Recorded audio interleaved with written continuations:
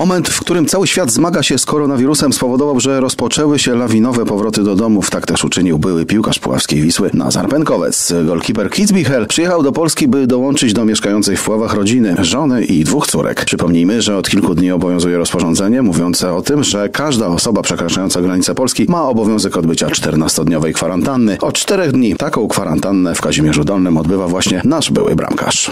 Tak, e, rozmawiałem z żoną i zdecydowaliśmy tak, że e, jestem jak zdrowy człowiek, tak, e, bardzo odpowiedzialny i tak dalej. Przyjeżdżam z Tirola. W danym momencie dzisiaj jest 1900 osób jest chorych w całej, w Tirolu, tylko w Tirolu, tak? I w całej Austrii na ten moment około 9 tysięcy.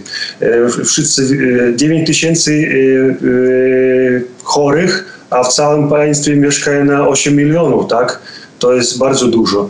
E, rozmawiałem z żoną i dowiedzieliśmy się, że w Puławach jest dwa ośrodka w Bursie i w Kazimierzu Dolnym dla osób, które na, mogły przechodzić 14 dni kwarantanny. Tak? E, dużo wyczytałem o tym wirusie i wiem tak, że e, ty możesz być nie chorym, a możesz być przenośnikiem. Tak? I dla e, bezpieczeństwa, dla mojej rodziny, dla mojego osiedla tam na spacerowej, tak, e, bo bardzo e, kontaktujemy się z sąsiadami, z, między sobą. Zdecydowaliśmy odbyć 14 dni na Kazimierzu Dolnym kwarantanny, tak. Całą rozmowę z Nazarem Pękowcem obejrzycie Państwo w programie Gra Kontrolna już we wtorek po informacjach puławskich.